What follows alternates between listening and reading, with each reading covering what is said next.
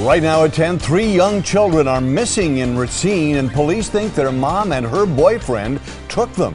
Police discovered the children were missing when they didn't show up for school. There are worries the kids are in danger. Steve Chamraz is live in Racine with more on this massive search. Steve. Carol and Mike, police are very worried about these three kids. They uh, fear they could be victims of child abuse, and both their mother and her boyfriend could somehow be involved. Police believe Amanda Gasca and her boyfriend, Yvonne Ruiz, are on the run, trying to hide from officers and Child Protective Services after police took a complaint that at least one of Gasca's three children was being abused. The investigators uh, have some reasonable belief that the kids might have some injuries or might be in danger. Lieutenant Al Days says the missing kids are 8, 10, and almost 2 years old.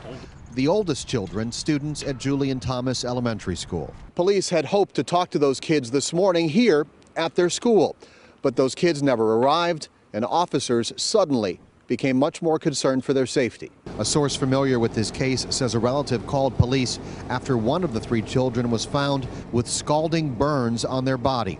By the time officers could move in to investigate, everyone had vanished. As the investigators went out, tried to uh, research those uh, concerns and complaints and could not locate any of the children, could not locate the mom, and uh, even worse, we could not even locate the uh, boyfriend. In addition to the photos of mom and her boyfriend, police are also working with the description of a vehicle here. They say it's a tan or a gold Ford Explorer. It has temporary Illinois license plates on it.